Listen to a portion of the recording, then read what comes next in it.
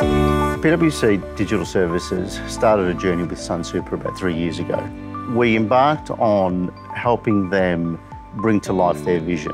And their vision was around doing things differently in the superannuation space and doing things differently in the market. And there was a huge focus on experience and how do we actually deliver a better experience to our members. On the back of SuperStream and the standardisation of payment payment standards, uh, we saw the opportunity to bring our clearinghouse function in-house. Um, PwC have a very good messaging service which is ideal for, for what we were seeking to do in the network.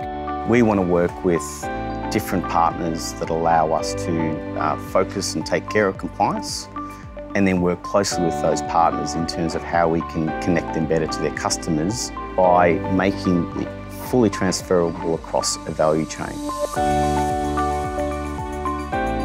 We have a Sunsuper Gateway that we maintain.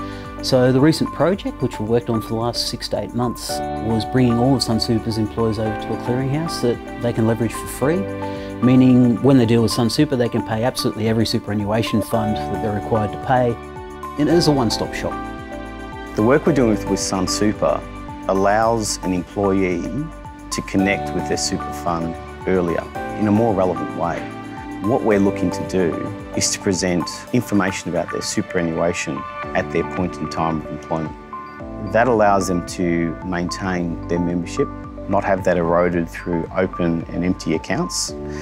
But it also allows an employee to see their super balance, whereby you would wait 12 months to see a member annual statement. We're starting to infer that you can interact with your super or other services through your employment.